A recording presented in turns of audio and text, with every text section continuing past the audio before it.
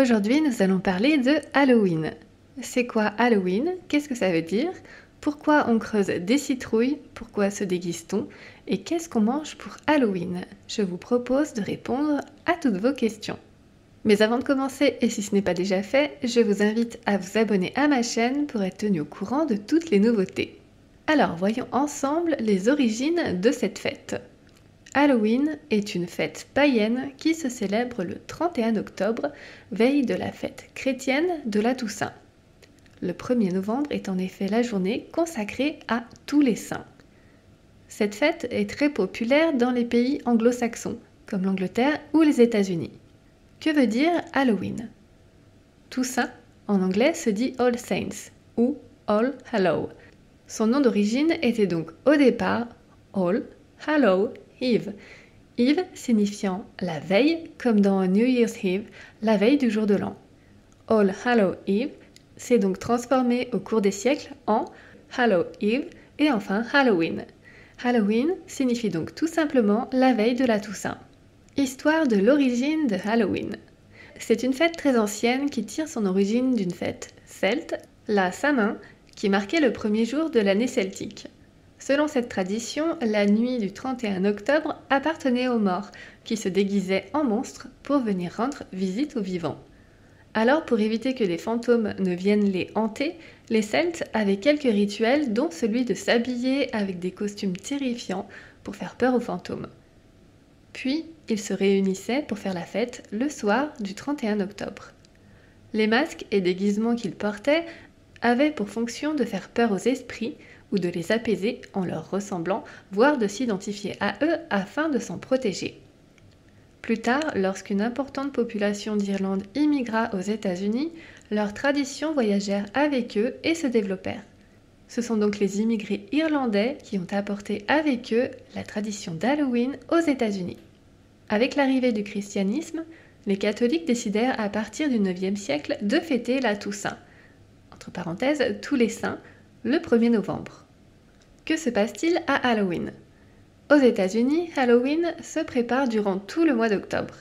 C'est une fête aussi importante que peut l'être Noël chez nous. Dès le début du mois d'octobre, on décore toute la maison aux couleurs d'Halloween et on réfléchit déjà aux costumes que porteront tous les membres de la famille le soir du 31 octobre. Parmi les déguisements les plus populaires, on trouve des déguisements de sorcières, de fantômes ou encore de vampires, mais aussi d'autres monstrueux personnages. Les Américains font preuve de beaucoup d'originalité et c'est à celui qui sera le plus inventif. Pourquoi on creuse des citrouilles?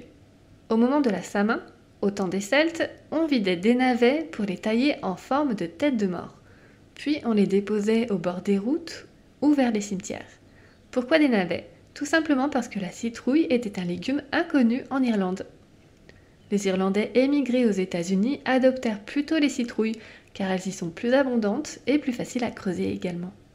La coutume des légumes évidés avait pour but d'effrayer les esprits, mais elle est aussi liée à la légende de Jack O'Lantern, un homme obligé d'errer sur Terre après sa mort car ni Dieu ni le diable ne voulaient de lui. La véritable histoire de Jack O'Lantern. C'est un personnage traditionnellement associé à Halloween. Une légende raconte qu'autrefois, en Irlande, vivait un homme appelé Jack. Il était très avare et très méchant. Un jour où il avait bu beaucoup de bière, il rencontra le diable qui voulait l'emmener en enfer. Jack l'invita à boire un verre, mais comme il est très radin, il ne voulut pas payer. Le diable décide de lui offrir la bière et se transforme en pièce d'or. Dès qu'il vit la belle pièce d'or, Jack la ramassa et la glissa dans sa bourse. Le diable était son prisonnier. Jack libéra le diable contre la promesse qu'il ne le prenne jamais en enfer. Le jour où Jack mourut, il se rendit au ciel, mais on ne voulut pas de lui car il était vraiment un trop mauvais homme. Ne sachant où aller, il alla voir en enfer, mais le diable le refusa en lui rappelant sa promesse. Le diable lui donna une braise brûlante et le renvoya. Jack mit la braise dans un navet creux pour éclairer sa route. On dit qu'il erre toujours avec cette lanterne à la recherche d'un endroit où aller. Jack aux lanternes, la lanterne emblématique d'Halloween, a d'ailleurs donné son nom à une variété de citrouilles. Depuis ce temps, on fabrique aussi des lanternes pour Halloween, sauf que les navets ont été remplacés par des citrouilles. Les costumes d'Halloween. La tradition veut que chaque enfant se déguise pour partir à la chasse aux bonbons. Les propriétaires de maisons souhaitant participer à cette tradition décorent habituellement leurs portes de toiles d'araignée, de squelettes en plastique ou de jack-o'-lanterne. Les habitants sont souvent eux-mêmes déguisés pour distribuer les friandises. Les enfants vont alors sonner de maison en maison pour récupérer les précieuses gourmandises. À chaque fois qu'un voisin ouvre la porte, ils doivent alors prononcer une phrase magique, le fameux trick or treat, qui signifie un bonbon ou un sort. Les décorations d'Halloween. Aux États-Unis, la fête d'Halloween est prise très au sérieux. Chaque habitant orne sa maison pour l'occasion. Il y a une véritable émulation où chacun se vante d'avoir la maison qui fait le plus peur. Ces décorations sont parfois tellement réussies qu'elles en terrorisent véritablement les enfants. Qu'est-ce qu'on mange pour Halloween? Il n'y a pas à proprement parler de plat typique pour le soir d'Halloween. Néanmoins, si vous vous trouvez aux États-Unis, il est fort probable que vous ayez l'occasion de manger de la tarte à la citrouille, appelée pumpkin pie, et autres pommes d'amour, les fameuses candy apples. Très célèbre dans son pays d'origine, Halloween devient de plus en plus populaire en France. Mais quel menu choisir pour plaire aux enfants et aux adultes? Le but d'Halloween est de faire peur à ses convives. Alors, pour un menu d'Halloween réussi, on n'hésite pas à proposer et à créer un menu effrayant. En voici quelques idées dont vous pouvez vous inspirer. Des biscuits vampires, d'autres sous forme d'animaux inquiétants comme des araignées ou des chauves-souris, des saucisses façon doigt coupé, un gâteau en forme de tombe, des croque-monsieur momies, des biscuits en forme de doigts de sorcière, des hot dogs momifiés, des cupcakes de cerveau ou encore des sucettes momies. Avec la chair de la citrouille que vous avez utilisée pour la décoration, vous pouvez préparer un pumpkin bread, qui est un cake à la citrouille, une tarte à la citrouille ou bien une soupe à la citrouille. Vous pourrez retrouver la recette de la soupe à la citrouille dans les commentaires juste en dessous de cette vidéo. Vous le voyez, il y a plein de possibilités, alors n'hésitez pas à laisser s'exprimer votre créativité. Pour finir, la décoration de la table est également un élément central d'Halloween. Toile d'araignée, fantôme qui se balade, laissez parler votre imagination. Halloween dans le monde.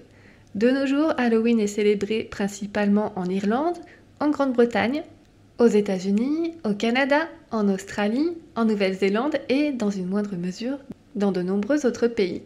En France, Halloween a été introduit dans les années 1990. Cette fête est aussi sujet à controverse. Dans plusieurs pays, ne célébrant traditionnellement pas Halloween, son introduction a suscité une opposition plus ou moins forte. Certains dénoncent en effet une américanisation croissante du monde.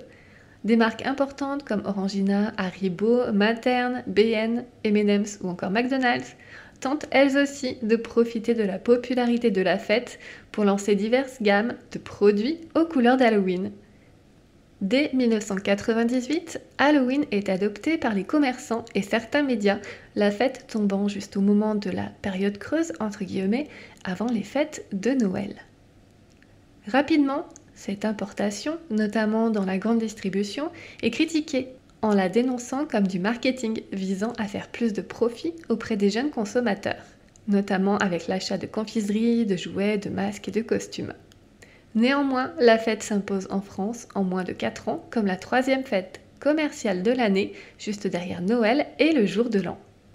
Je vous invite à dire en commentaire, est-ce que vous-même vous fêtez Halloween et qu'est-ce que vous organisez ce jour-là? Partagez vos avis et expériences en commentaire juste en dessous de cette vidéo, je serai ravie de vous lire. Merci beaucoup d'avoir écouté jusqu'au bout, j'espère que ça vous a plu. N'hésitez pas à liker et à partager avec des personnes que cela peut intéresser et inspirer. N'oubliez pas de vous abonner à ma chaîne YouTube pour être tenu au courant de toutes les nouveautés. Et moi je vous dis à très bientôt et d'ici là, prenez soin de vous.